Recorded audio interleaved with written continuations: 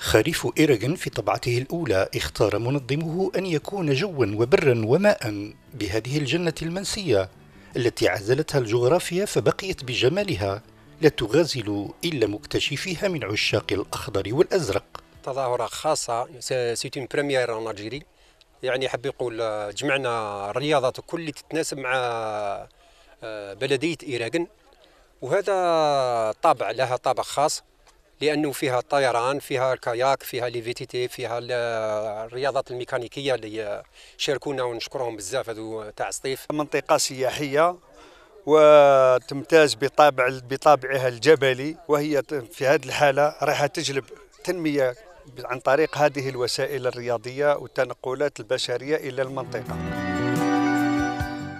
من عدة ولايات كان الحضور وكان الانبهار كبيرا. بالنسبة لمن حط بها لأول مرة. المنطقة والله سبحان الله تنجم تقول المنطقة متنوعة تقدر تدير فيها أي رياضة الميكانيكية الجبلية المائية آه، سبحان الله أي قاعد نشوف بعيني أي حاجة تبغي تحطها دير القاعدة تاعها تجي الهدف منها هو ترويج للسياحة السياحة الرياضية السياحة لبلدية إيراغن وهذا هو الهدف منها. يعني خيرنا حنايا لو 17 أكتوبر تاع آه، لو ماساكر تاع تاع لي زيميغري تاعنا المجاهدين اللي ماتوا في فرنسا.